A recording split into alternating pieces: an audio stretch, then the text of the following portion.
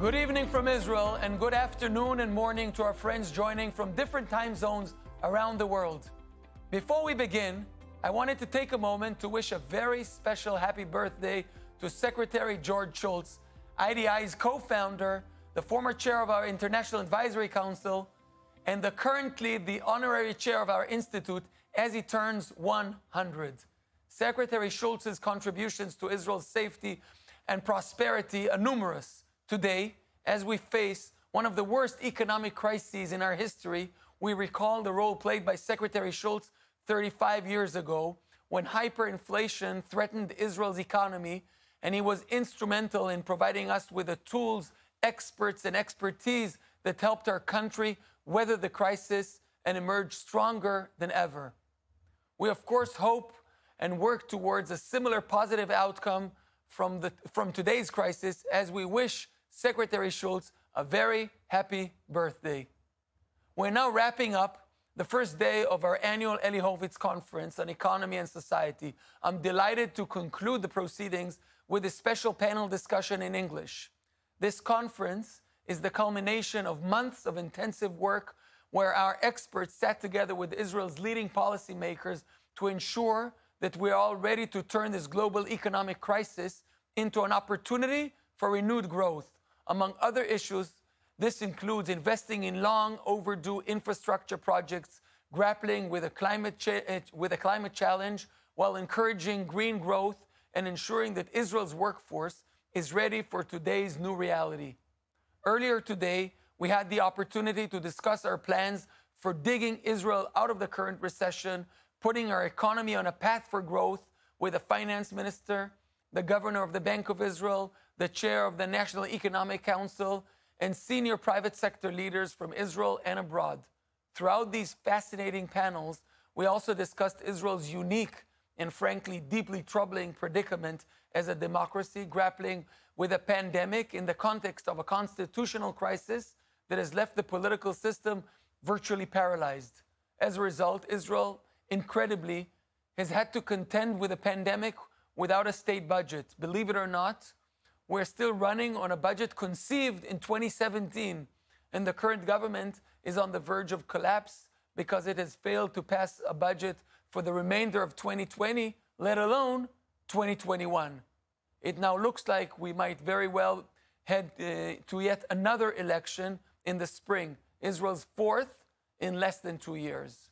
To help us understand the economic dimension of the COVID 19 crisis, we have three of the foremost experts on the Israeli economy with us today. We have asked them to explain what is happening in the global economy and how that affects the outlook for the Israeli economy as we head into 2021. Here to discuss the, uh, all of this are our very own Professor Karnit Flug, former governor of the Bank of Israel, vice president for research at IDI, uh, and the William Davidson Senior Fellow for Economic Policy. Professor Eugene Kandel, the CEO of Startup Nation Central, former chair of Israel's National Economic Council, and most importantly, co chair of this important conference alongside with Karnit. And Dan Senor, co author of the bestseller Startup Nation, a senior executive at Elliott Management, and a former U.S. Defense Department official and policy advisor. Dan, Karnit, Eugene, the floor is yours. Thank you. Thank, Thank you. You. Um, Dan, how are you? Good. How are you? We're good. We're good. Staying safe, hopefully. Yeah. Good. Uh, Karnit, good to see you. Trying, Very trying. Nice to see you. So, uh, Dan, we, uh, you know, one of the big things that everybody is in Israel is uh, thinking about is how the change in the um, in the U.S. administration uh, is going to affect uh, the Israeli economy, uh, whether through U.S. economic policy, whether through U.S. pandemic uh, response, or whether through Middle East policy. Can you, you know, one of the best experts in the world to talk about this, can you tell us something about it? Well, I will, I'll, I'll start with the last one first, which is most of the questions in the U.S. foreign policy and geopolitical strategy community uh, right now about the change in administration as it relates to the Middle East is what actually will change? What are the priorities of the new administration going to be? Because keep in mind, the new administration is going to be focused like a laser beam on fighting the pandemic. And I don't think they will have as much bandwidth to deal with geopolitical issues that fall outside the narrow but important focus, priority focus of fighting the pandemic. But as, and, and I think the Middle East falls to that category. However, Vice uh, President-elect Biden has made it clear that he intends to reconstitute the J- JCPOA, the the Iran deal, uh, in some way. It won't look exactly like the deal did before the U.S. withdrew, before uh, Iran withdrew. It, it, but but Vice uh, President-elect Biden wants to somehow put the you know put Humpty Dumpty back together again.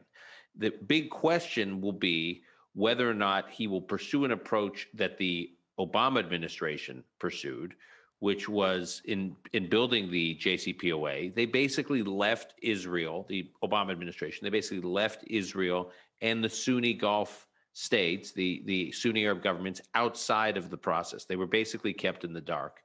And of course this this engendered a lot of insecurity between uh, among Israel and the Sunni Gulf states about not knowing what was really going on. And in many respects, that deepened the the intelligence sharing and the strategic cooperation between Israel and the Gulf states because they felt that they were alone. But but obviously, it ultimately led to some kind of backlash to the deal in the region because these countries felt uh, these governments felt like they're in the dark. So one question: the new administration, if they actually do pursue a reconstitution of the Iran deal, is whether or not to actually include Israel and the Arab states in that process. In a recent interview that President-elect Biden gave with Tom Friedman, he listed the countries whose interests needed to be, you know, kept in consideration and implied that they would be kept, uh, you know, in communication during any process to bring Iran back into the deal. He listed Saudi Arabia. He didn't mention. He did not mention Israel, but um, that that'll be that'll be a big touchstone. The second area will be what how the new administration's relations will change with the Gulf Arab states. They, the the Trump administration has had a very hands-off approach to these Sunni Gulf states in terms of their behavior in the region, what their, their internal character of the regimes are like within the country, within their respective countries, what their policies are in the region vis-a-vis Yemen and other flashpoints. And it's expected that the new administration will put more pressure on those Gulf countries, and that raises questions about, you know, whether or not that actually drives those countries even closer to Israel. The third area I would look at is Europe. If the Europeans, the EU, leading EU countries pressure the Biden administration to put more pressure on Israel in a way that the Trump administration did not, given how much the Biden, uh, the president like Biden has made clear he wants to strengthen or or or kind of um, eh, pursue a, a, a new chapter in the relationship between the U.S. and Europe following uh, the Trump administration, strengthen relations uh, cross-continental relations, transatlantic relations. If in return the European, the EU puts pressure on the U.S. to do to put more pressure on Israel, that could lead to some kind of change. And the last area I'd say is the Palestinian issue. For the longest time, much of U.S. policymakers that wanted to pursue some kind of accommodation, long-term peaceful accommodation between Israel and the Palestinian Authority, have have argued that this was central to there being some kind of normalization relations between the Arab world and Israel. And what the last few years have demonstrated is that's not true. You could have a lack of resolution on the Palestinian track and still a path towards normal, normalization with the Arab world.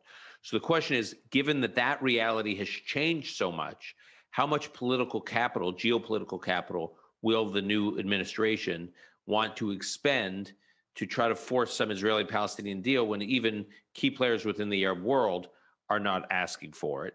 And lastly, you know, when I've spoken to to player, you know, policymakers that will be staffing the new administration, they say they say they're under no illusion that there's actually a, an obvious deal to be done in the near term, and they have real concerns about Abbas in that respect. And so, how much geopolitical capital do they want to expend when they're not sure it will produce much for them in the region because there's already a path to normalization, and how much geopolitical capital do they want to expend if they don't think there's a real deal to be done? I think they will do small, take small steps to to to try to repair relations with the Palestinian Authority. But the question is, will they go for a big play? I don't think so. So that's on the that's on the kind of geopolitical peace process track. On the economic track, what coronavirus has demonstrated is, I mean, we're you know, there's a Stanford study that just came out uh, in the last few months that basically showed that one in six workers that are now working remotely. So we've just overnight, the U.S. economy was basically told to stop and about 40% of the economy that wasn't told to stop was told to keep working, but do it from home. And this, this Stanford study shows that about one in six workers who are currently working from home will likely never return to an office. So as I tell people when I, you know, give talks, I say, look at look at your group of colleagues, look at your, you know, in your pod, look at your pod of six colleagues or five colleagues. One of five or six of you may never return to an office. And the implications for the US economy in that respect are are quite considerable and the areas where you're going to see need to see major investment to accommodate a world in which we are many of us are, are many americans are working remotely range from cybersecurity because if we were working remotely then the technology that secures our systems becomes more important. Telemedicine fewer people will be visiting medical offices so digital health and telemedicine will matter more. Up to this point, the US regulatory regime and the policies governing the US health insurance industry have made telemedicine very difficult. And suddenly, during coronavirus, because of the need for people to get medical care without going to a doctor's office, suddenly all these rules and regulations just started getting waived for emergency reasons. And as they've gotten waived, suddenly people say, wait a minute, this is very doable. I mean, just think about this of the people in the United States who have antibodies, of the Americans who've who've had coronavirus, most of them have never actually set foot in a doctor's office. Most of them have been treated like you and I are being having a conversation right now, which is through technology, through screens. And so you have a pandemic that's affected a huge number of Americans, many of whom never walk into a doctor office, doctor's office, and may never again. And so, because of the experience of coronavirus, I think it's going to unleash a digital health and telemedicine revolution in the United States. I think you're going to see the same thing on edu- in the education realm. I think you're going to, you know, in all of these areas where people have assumed you have to be in a physical place with the practitioners that are serving servicing you or as part of some kind of in-person community. That is being tested in the US like we've never had before. It's happened overnight and the technologies that that service uh, those those sectors will be in huge demand. And I think as Startup Nation Central has has illustrated in its in its new digital age report and the series of um, webinars it had uh, a few months ago in this area, the, Israel is so well positioned, ironically, to service this huge demand in technology in these very specific sectors, and I can cite other sectors too, um, that are being transformed uh, and, beca- and and and expanded because of because of the pandemic. So I, I think on the geopolitical realm, probably not huge changes. On the economic realm, I think real changes because of the demand for Israeli uh, technology expertise in these areas at a time that the U.S. economy is being transformed. Thank you, Dan. So, Karnit, um, so Dan is talking about that the uncertainty coming from U.S. political changes is not that huge. It may be probably not on the economic realm. He also talked about the fact that the technological demand from the U.S. and bigger economies will have a big positive effect on, on Israel. We'll talk about this later a little bit. But there's a pandemic, you know, that led to all this, or to part of this. Um, how did that affect the, the Israeli economy directly so far? Well, I, uh, actually, I want to relate to things that Dan just said. Uh, the transformation of the economies broadly as a result of the pandemic, which actually heightened the demand for technology, was one of the uh, factors that made the Israeli economy somewhat more resilient than other economies to the pandemic. But more broadly, when I look at the current uh, or most recent uh, estimates of where we are and how, uh, how badly we were affected by the uh, pandemic, it seems that the Israeli economy, in terms of the decline of GDP, it was somewhat milder than uh, many advanced economies. and so are the projections for this year. And what is behind that is mostly the structure of our economy. Actually, the fact that we have a relatively high uh, proportion of high-tech sector that not only did not suffer uh, in terms of its demand, the demand it saw, but actually there was a, a higher demand for its uh, for technologies, for the various cyber, digital health, and the things that uh, uh Dan mentioned. That's on the one ha hand. On the other hand, sectors like, for example, tourism, which suffered terribly uh, as a result of the pandemic, tourism is relatively small in Israel. In fact, its contribution to the GDP is about half of the contribution of tourism in the OECD countries. It's less than 3%.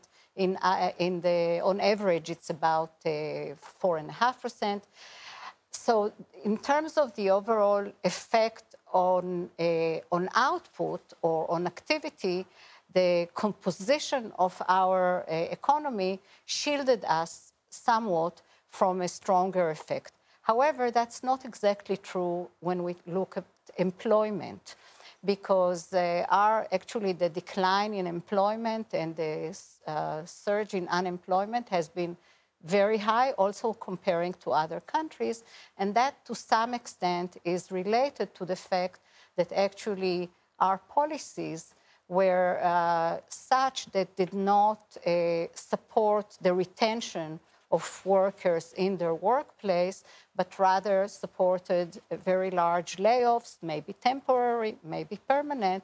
But that uh, implied actually that uh, in terms of the labor market, we see huge uh, uh, numbers of unemployed. And I think that that is actually going to be the main challenge looking forward how to bring many people back uh, to work. I should also note that actually the sectors that were most affected, and that's true globally, by this pandemic are labor intensive and mostly uh, labor intensive with labor which is less skilled. So this is also widening gap uh, social gaps, but we'll probably talk about that later. So, so this is so, very, uh, sorry, go ahead. No, so I would actually think that you may want to expand on the tech sector, which is the sort of resilient part of the economy. Uh, yeah, and I, want to connect to what you both of you said is that um, the demand for tech in large economies and demand for tech coming from large economies is on the surge and you can see what happens with, uh, with the stock prices of uh, tech companies, traded tech companies. Uh, and the fact that VC funding, unlike in 2008, has been uh, not been declining. But, uh, but like Dan said, um, Israel is uniquely positioned uh, to do that because Israel is mostly focused on B2B and software data, AI, sensors related stuff. And so, in fact, um, uh, there are additional issues to what to what Dan was talking about, uh, whether it's healthcare and education, cyber, but there is also a trend which uh, United States is leading, I think, uh, but European countries are also following, is the shortening of global supply chains because the world suddenly realized that almost 100% of its pharmaceuticals and other uh, essential components are dependent on one country, and that one country can just close its borders without notice uh, one day uh, because of pandemic or because of other things. And so the world decided that this is way too, uh, too risky to be dependent on one source of supply and started reconnecting the supply chains to it. And so Israel, interestingly, has a lot to offer in that space as well. Uh, so uh, interestingly, um, this special Israeli position is manifested by what we just released uh, yesterday, I believe, um, is the fact that for the first time in uh, ever, uh, the VC investments in Israel are going to um, exceed $10 billion in 2020, which is over 20% jump relative to uh, 2019, which was also record year. And so that is quite amazing. Uh, however, there's a black lining behind this because uh, most of these investments are in late stages. So it's basically a fruition of a lot of projects or a lot of companies, technologies that were coming through the pipeline in the last decade and were a result of the investments and the ideas in, uh, in the early 2010 to 15. However, we also see a decline in uh, early stage investments and a, and a, continuous decline over the three years in the number of new companies that are being established. So, um, but then, um, so we, we need to think about that as a policy. But um, also, the post COVID world is going to be dominated by governments uh, in a sense that there is now competition in tech for being the premier ecosystems. It's no longer being premier companies, but being premier ecosystem. And governments are uniquely positioned to, to, to determine the, the, where the location of these ecosystems will be. And so that demands a lot of coordination and strategy. And this is really hard in the time of political instability. So we've seen that in Corona. Uh, in fact, uh, some of this void in strategy is filled by organizations like ours, uh, like the uh, Democracy Institute or Startup Nation Central. But can you, uh, can you tell me of how do you see the political instability effects in Israel, direct? You know, we've heard from Dan how U.S. Uh, political changes are, are affecting us, but what about Israeli political changes? Well, I think the main manifestation in the economic sphere of the uh, instability is the fact that we don't have a budget.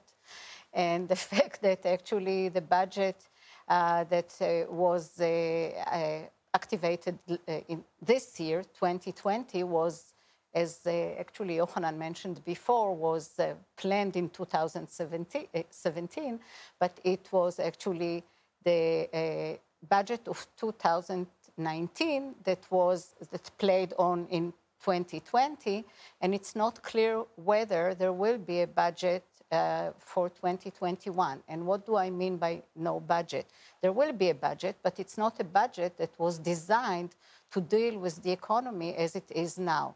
So we have all these boxes, which are a, a, a term for the spending that is related directly to dealing with the pandemic, that's health, and some safety net and so on. But the basic budget that is supposed to provide all the basic services and the support for the economy as it starts to recovering to recover is, has not been uh, determined. There was no discussion of the priorities. And as we see, the current political crisis is, seems to be actually delaying the process. And I'm very concerned that we will start next year, which is yet another very difficult year, without a budget that is appropriate for the circumstances. That means that the policy will be more restrictive, not expansionary enough, as it should be given the circumstances. And it, in terms of the composition, it will not have the main elements that are supposed to deal uh, and support the economy at the phase at which it uh, recovers. Will, and, and where it will be expansionary, maybe not, not the right places. I, I certainly agree with that. The other part that will not pass if the budget doesn't pass is uh, what we call the arrangement law, which is basically a set of reforms that uh, should be also implemented and could support the recovery and could support the growth of productivity. But these uh, these uh, uh, reforms are not going to be passed unless there is a government, uh, you know. So yeah. I think it's really, it's very difficult in any case, but in times of crisis, it's really very it, It's always when you, when uh, you don't like the government unless you don't have it. Yeah, that's, that's the part that's where you. So, um, Dan, uh, one of the things that happened in 2020 um, is the Abraham Accord. And you have some uh, firsthand experience both in the Middle East, uh, uh, in Iraq, but also uh, is a visit uh, a few years back to, to UAE. Uh, can you tell us what can we expect in terms of this U.S. UAE triangle, UAE-Israel triangle what are the opportunities in 2021? Sure, but before I do that, I, I just want to say one, make one observation in response to your comment, Eugene, that a lot of the VC funding that's coming in is actually funding companies at later stages, which is a new phenomenon for Israel. I think that's a positive indicator. in that the big criticism of the startup nation economy when we first wrote the book was that Israel's uh, tech economy was only a nation of startups, and that these entrepreneurs in Israel were quick to flip, whether you know sell their company or, or IPO, usually sell, usually with M and A. Uh, and what you're seeing now is, I think you're seeing for the first time in Israel's history is the last few years, Israeli entrepreneurs building real companies, not built to flip, built to last, or at least built to go to a much longer time horizon than than they had originally. So it's something like over 40 unicorns right now, companies valued at a billion dollars or more in Israel. That those are big companies. And so I think that's that's a positive sign. To your question about the Abraham Accords, I would say a few things. In 2013, okay. yeah. No, I just want to say I never intended to imply that this was not great news. I'm just saying that we oh, want okay. the same thing in 10 years, and for that you need new companies as well. Right. Fair enough. Fair enough. Good point. Um, so, look, in 2013, I took a trip to Abu Dhabi. I was invited to speak at the Tech uh, Media Innovation Summit. It's a summit that that Abu Dhabi hosts every year, and they, for the first time, said, "You know what? If we're having a conference about tech and innovation, we it would be crazy not to have what is the equivalent of Silicon Valley in our region, which is Israel." Not represented in some way at this conference, a perspective on what Israel's doing, something you know, it's a, it's a Middle East Tech Innovation Summit, and Israel isn't present. But they said, but you know, to have an Israeli national come speak is a little too. It's sort of the, the organizer of the conference thought it was a little too um, aggressive and, and potentially too risque. So their solution was have an American, me, who had authored co-authored a book about the Israeli innovation story. So I spoke at this conference, and the night before the talk at the at the conference, one of the uh, was a reporter who was interviewing me um, and when they were doing some prep with me before, and they said, you know, don't talk too much about Israel. You can do a little bit. But I said, but wait a minute. I was invited to speak about the Israeli innovation story. And they were a little nervous that people would walk out or it'd be an uproar. I go ahead and give my talk. I lean into it. You can watch it, it's on YouTube. Um, when I finished my talk, it was a conversation. Hands were flying, people were up, questions, a thousand questions. When I was finished the talk, people were swarming me with questions, exchanging business cards. It, it, was it's anecdotal, but it was clear to me at that time that there was this unbelievable thirst to among the private sector to work with Israel in in in uh, in UAE, and I felt that in other Gulf countries too. Uh, about three or four years after that. I was meeting with a senior, a very senior official from the uh, Saudi royal family in the United. He was visiting the United States, and he basically said to me, "Look, as far as we're concerned in, in Riyadh, there's the future of the Middle East and there's the past in the Middle East, and we believe Israel's the future, and we want to be partnering with the future." And then he started to rattle off all the sectors where there should be cooperation. So I just think there's this understanding that these countries, many of these countries throughout the Sunni Gulf and the broader Arab world, are either very small population but very rich countries. UAE is one example, Bahrain, uh, Kuwait, or or big poor countries, countries that have low per capita GDP but are really massive countries like Egypt, and then some countries in between. Obviously, Saudi Arabia is both large and and wealthy. But what all these countries have in common, Eugene, is they all have really big problems to solve. And they all, but whether it's an agri-tech, agricultural solutions, water solutions they're looking for, food security and food innovation, whether they're dealing, they're identifying areas in which AI can have a huge impact, whether they're identifying their the, the, the needs in their economy for f- financial tech, fintech solutions, ed tech solutions. I mean, I could go cybersecurity, obviously. I go on and on and on. And they're all recognizing they have big problems to solve and they're sitting there staring at, as I said earlier, what is the equivalent of a Silicon Valley, which is a three-hour direct flight from some of these Sunni Gulf countries. So why should they be flying 20 hours to Silicon Valley to look for solutions when they have a, con- a country in their neighborhood that has the solutions? And this has come up and been articulated to me from leaders in the Gulf over and over and over. And if you marry that with when we wrote Startup Nation, something like over 80% of global venture capital in the world wound up in Silicon Valley. Okay, so it was a, the model of of innovation capital financing was a very Silicon Valley centric model. If you look at the last few years, the number is around 50%. So now only about one of every two venture capital dollars from around the world are landing in Silicon Valley. Which now that's both a, a, an opportunity for Israel and a risk because it also means that some of that money is winding up all over the world and there are innovation hotspots that have popped up over the last decade that weren't even on our radar screen when we wrote Startup Nation. Berlin, London, uh, uh, China, obviously, parts of India. Uh, and even parts of the United States outside of Silicon Valley.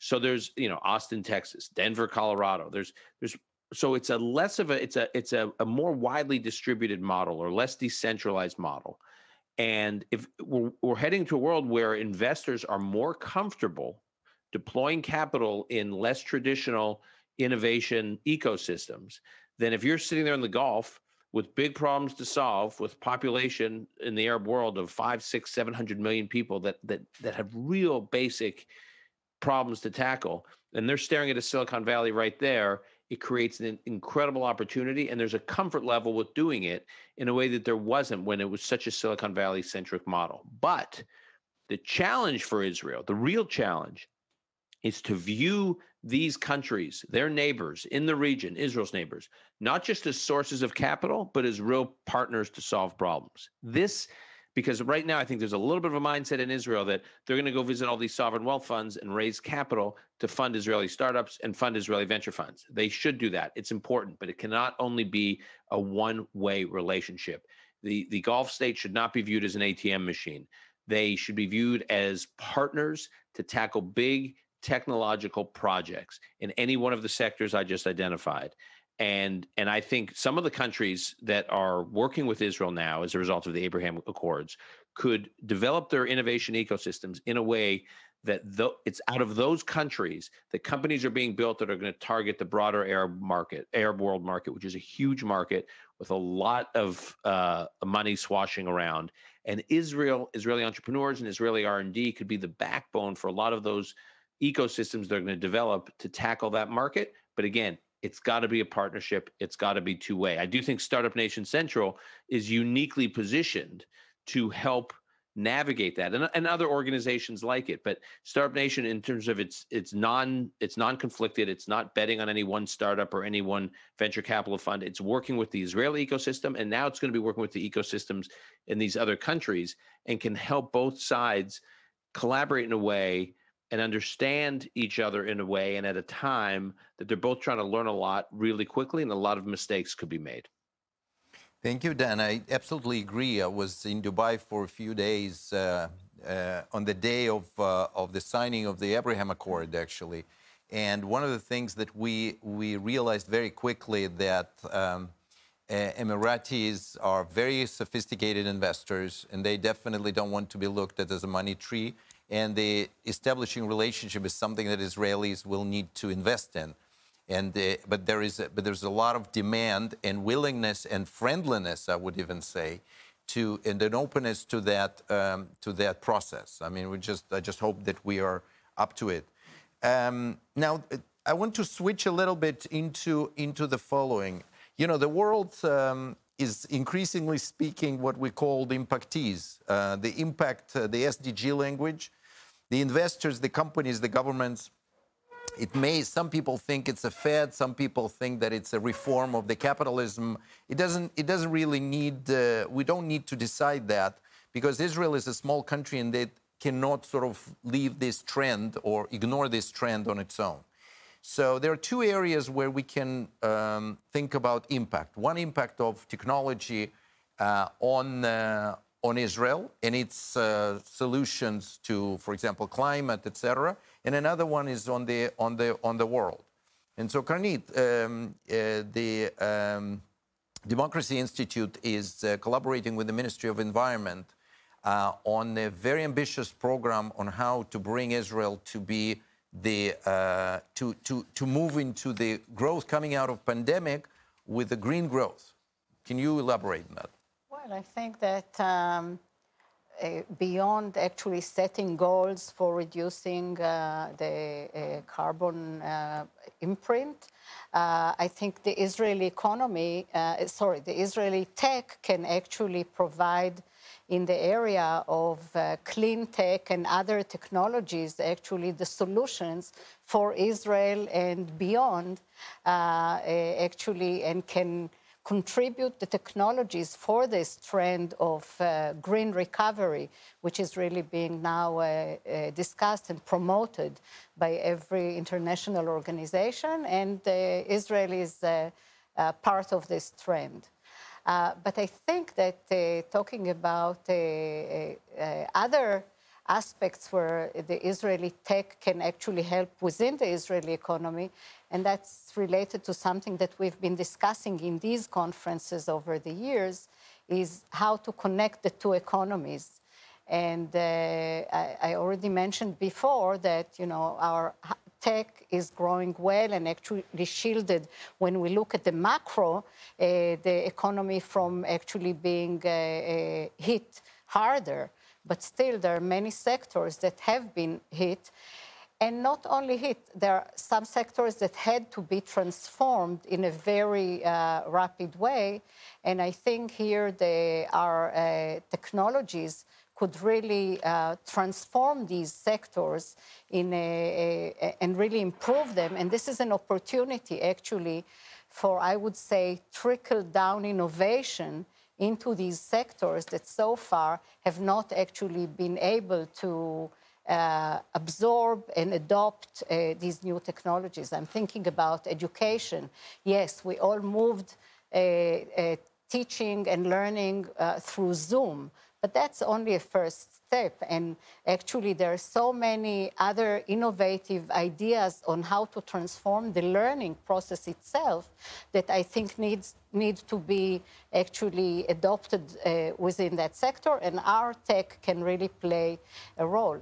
Same is true with, uh, with our health system. Yes, we moved to uh, remote uh, discussion with our doctors, but have we really utilized all these new technologies of diagnostics and other areas of prevention where you can actually use the innovative technologies to really transform the sector. So that's in the public services. We also have, have had a very serious productivity problem in the non-high-tech sector of the economy. And I think that uh, many of these innovations that we just started, we were forced to uh, use in, these, uh, in the services sector during the pandemic can really expand. And I very much hope that the uh, high-tech sector uh, in Israel looks not only at the demand abroad, which is extremely important, but also at what you, it can do to actually move up the services sector and the more traditional economic uh, economy uh, really move it up. So I, I, mm-hmm. I, I, think you, you're absolutely right, and I, I, would illustrate this with, the, with this uh, stark difference between how the Israeli tech sector responded to pandemic. Um, in March uh, 2020, uh, Startup Nation Central mapped, started mapping corona-relevant companies we found 80 technological mm-hmm. companies. Today, there are over 300. And most of these companies are doing, they either were founded after the pandemic or they pivoted very quickly to become relevant in a variety of fields, not just medical. And the interesting thing is that very, very few of them are actually deployed in Israel. And you ask yourself why? Why, why are we solving the problem of the whole world and we're not enjoying this? And I can think of two. One is that Israeli government was not um, sufficiently forward-looking. There, there were attempts, etc. There were some pilots, but there were no um, massive effort to modernize uh, Israeli public sphere, education, healthcare, public security, uh, data, government services, municipalities. All of this is is not uh, up to par. But uh, given that the, the combination of their sort of lack of sufficient strategic demand and cumbersome regulation basically did not, and, and, and, as well as the smallness of the market, basically caused the companies, the Israeli companies, never to look at Israel as a market. Because why bother if it's, uh, you know, the specific regulations and in this strange language, you know, I'm going to go to the US or to Europe and start with 300 million people rather than nine. And so that uh, Corona brought home the realization for a lot of Israeli companies who couldn't sell anywhere else is that suddenly maybe this is a market for a while. And so I think we're missing an opportunity as a government to actually deploy significant amount of money as a coming out of recession to bring all these technologies into Israeli government, into Israeli industry, into Israeli municipalities, and at the same time create infrastructure of better government, better municipalities, but also support a lot of employment and higher, higher end. The other thing that I wanted to, to add in terms of impact is uh, Israel can uh, go to zero emissions or the world will not notice. Israel can increase its pitiful foreign aid budget 10 times. The world will not notice because we're just too small. But we're not small in one domain. We're not small in, in our ideas. And if we focus all of our attention in terms of climate in, uh, solutions, in terms of uh, development aid, in terms of help to solve challenges around the world, uh, around our capabilities in tech, I believe that we can bring um, a lot of uh, interest, a lot of investment, and we can bring not just the Israelis, but uh, all the Jewish people around this, uh, this idea. So I think this is something that we need to, um, to think about. So Dan, uh, um, you're sitting in New York you obviously very well aware and connected to, to Israel. Fair disclosure, Dan is on the board of Startup Nation Central and is very active. Um, how do you see sort of the economic development in the, of Israel coming out of this recession for the next, uh, and, and the world as well, for the next year or, or so with vaccines, et cetera? How would you summarize this? Um well, I, I, hate to be in the prediction market, uh, but obviously there's a lot of promising news on the vaccine front, and uh, you know I, I don't want to get ahead of myself and trying to and trying to project what what may happen, but I, but we're very encouraged I, by that by those developments. I do think, however, that once we have some return to normalcy it's not clear what normalcy looks like. Post pandemic normalcy will be different from pre pandemic normalcy. At least in the major cities like New York and the 20 top cities around the world, where for years people in the business world in these major cities, which are like the lifeblood and the economic engine of these cities, have been told that there will be tools, technology tools available that will make cities less central uh, in terms of these industries needing to be based in cities. And no one believed it. They either thought the technologies would be too cost prohibitive, too difficult to use, uh, not secure enough, um, not would ultimately not have wide uh, adoption. And so, for all those reasons, this, the cities were central for many of these major industries, which made the, which again contributed to the tax base of these cities and were the economic engines of these cities. And I think what the pandemic did is it it flipped the inertia. If the inertia before is why bother trying these new technologies? Why bother trying if these industries to, to, to, to experiment with whether or not these industries are so dependent on cities? Um, suddenly, all these people scattered from major cities in many places around the world during the pandemic. And so now the inertia is on the other side. Many people are saying, I'm now out of the major city. Why should I return to the major city? Make the case for why it's my incentive. What's my incentive to return back? Because the technologies turn out to be not that cost prohibitive, because the technologies turn out to be more secure than we thought, because these technologies are easier to use than we thought, because these technologies are being more widely adopted in a shorter period of time than we ever could have imagined. It's like you've taken 10 years of digitization what would have been 10 year, a 10 year period of digitization and basically squeezed it in to an eight or nine month quarantine. And and so when when we return, quote unquote, I'm wondering, and I don't have an answer to the question, but I'm wondering whether or not as many people will return to what we think of as normalcy, pre-pandemic normalcy, as what one would otherwise expect. And if not as many people return to normalcy, who are those people? What parts of the economy do they represent? And if they are not, you know, concentrated in cities, then I think it upends the economic model of a lot of cities, both in the United States and around the world. And so I'm optimistic that we'll get a vaccine. I'm not I'm optimistic that we will beat this pandemic. I am not terribly optimistic about what the pandemic has unearthed about the ease with which our economy can transform. And that I'm wondering, you know, I'm I'm really wondering how long lasting those effects will be because that could be way, you know, way they could way outlive the pandemic. Now, there, as I said, there were some very positive things earlier before. Karnit and I were talking about telemedicine and digital health. That's transformative for the economy. Think of the amount of time people waste, productive hours wasted, going to doctor's offices, leaving work in the middle of the day, getting medical forms in, taking tests, all the rest. So if you can squeeze a lot of that waste and inefficiency out of the economy, that's very good for the economy. But in terms of the role of cities and and and economic clusters, which have been the foundation of much of our economy, at least in the West, economies, that is potentially going to change a lot. And I don't think we've fully thought through what that change looks like. It's an interesting thing that uh, what Dan just said uh, brings to mind. In, in Israel, um, an hour drive from Tel Aviv is considered a deep periphery. Uh, and Israel always tried to figure out how to sort of bring growth to periphery. Maybe this is the silver lining for Israel. Maybe Tel Aviv will sort of start uh, being diluted towards uh, towards wider wider area. Yes, let's let's summarize. Yeah, well, I think that uh, it's clear that uh, Israeli technology has great potential in the uh, post-corona, in the corona and post-corona uh, time. But within Israel, I think right now we see a widening of the digital gaps or gaps which are related to the digital, digital. gaps.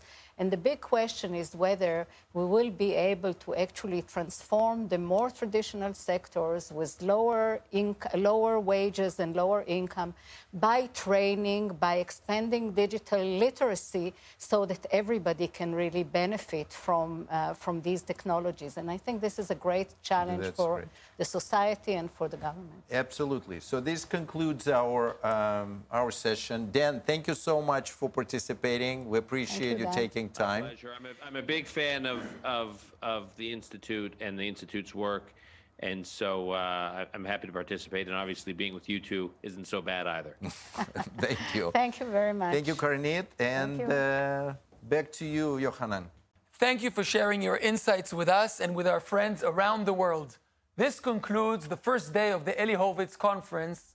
The conference continues tomorrow and Wednesday right here on the IDI website.